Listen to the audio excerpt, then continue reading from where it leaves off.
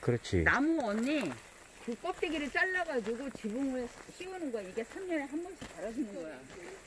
얼로 들어가야 돼 이게? 요리. 여기가 사람이 사네.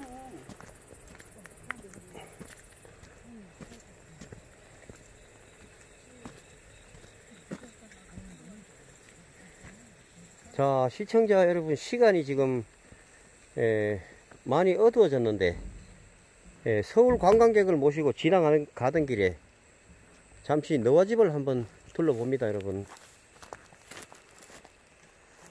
앞에서 찍어야지 더 멋있지 않아?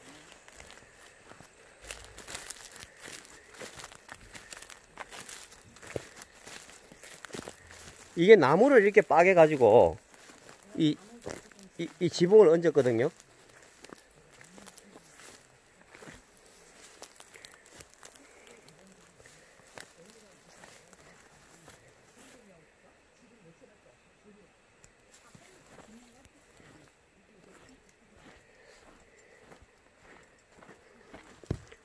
자, 주변이 벌써 어두워지고, 겨우 희미하게 이렇게 화면이 보이고 있는데.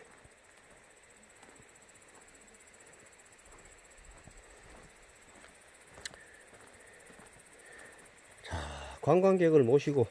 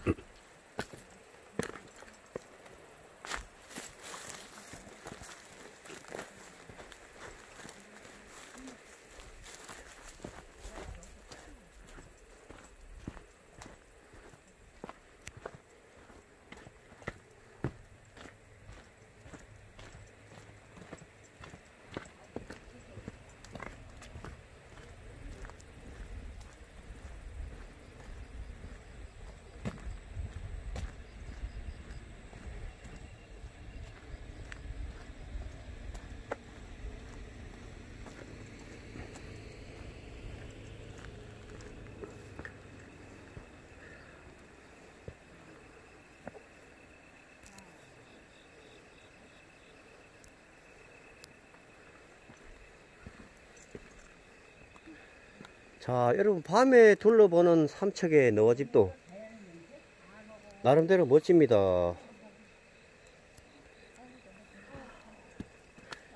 자 어찌 보면은 우리나라에 남아있는 마지막 오리지널 너와집인데 에, 일부 제목이 이렇게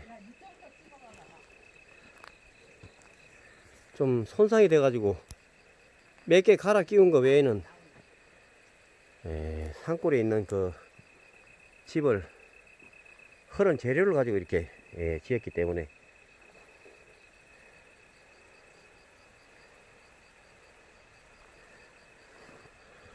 아 밤에 이렇게 둘러보는 것도 운치가 있네. 낮에 보는 것보다 시원, 시원한 게 운치가 있어. 돌탐길 돌아서며 너와 집 보며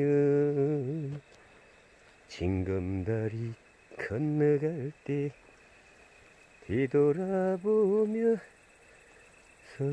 우리 서울 관광, 관광님 어떠세요? 너무 좋아요. 진짜요? 네. 어우, 시원하시고? 네. 시원하고 공기 좋고 귀신 나올 것 같지 않아요? 안 그래요. 안 그래요? 좋아요. 요런 오리지널 집은 처음 보였을 거예요. 네, 나 처음 봤어요. 이렇게 나무를 진 거는. 음, 이게 응. 저쪽에 근데 이거 춥지 않아요? 이렇게 나무를 진 거는? 이게 의외로 안 추워요. 이게 저 겨울에 군부를 떼고 하기 때문에 아, 그 저 보시면은 자세히 지금은 안 보이는데 저 나무 쉽게 말하자면 기와 비슷한 거 얹어놨잖아요. 네. 저 사이로 하늘이 보이는 집도 있거든요. 근데 그게 보기보다 저기 사람이 기가 하는 쪽은 굉장히 진흙을 두텁게 발라가지고 그렇게 안 추웠답니다. 그러니까 진흙하고 겉에는 나무를 한 거죠?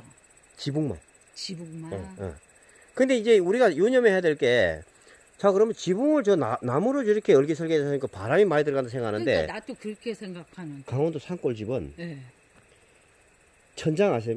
아, 세요 옛날에 예, 우리 예, 도- 도배할 때 천장. 천장에도 진흙을 한 뼘 이상을 발라버려요 쉽게 말해서 완전히 노출된 게 아니란 얘기지 그 밑에는 별도로 이렇게 방, 방이 사각이 지면은 위에 막 잡목을 엮어가지고 막 두툼하게 바른다니까요 천장을 그러니까 외풍이 거의 없지 이게 몇 년 된 집이에요, 그러면? 몇? 이거 얼핏 들었는데 한 200년 됐다 그러던데. 그 200년 된 집을 세상에. 이제 흘리는 걸 시에서 이렇게 매입을 해서 아, 여기다 이제 관광용으로 이렇게 저 건축하신 이거 보면 왜 나무가 좀 새 것처럼 보이는 거 있잖아요. 네, 요걸 기준으로. 저건 이제 원래 나무는 상해서 아, 저렇게 몇 개는 다시 깎아서 넣은 거예요.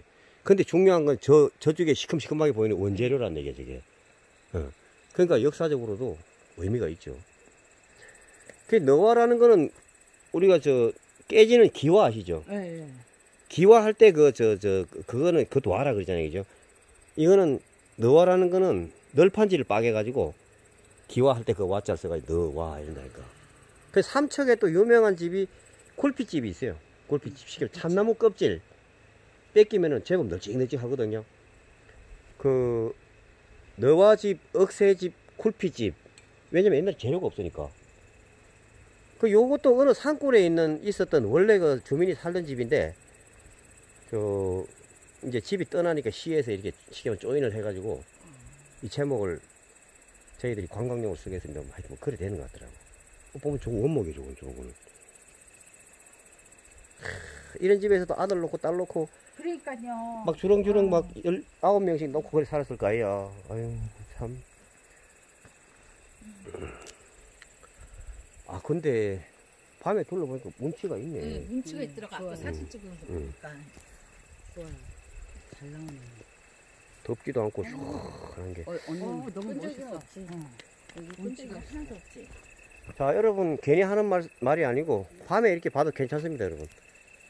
자, 화면이 좀 좋지는 않은데, 이렇게 시원한 장면도 한번 둘러보고, 귀뚜라미, 가을, 귀뚜라미 울음소리, 야, 가을이, 도깨비 택시도 저 딱 대기하고 있고,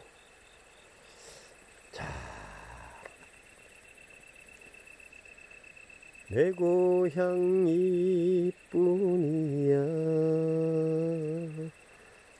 어여쁜 무섭다리 뜨는 내 고향에 나는 갈 거야.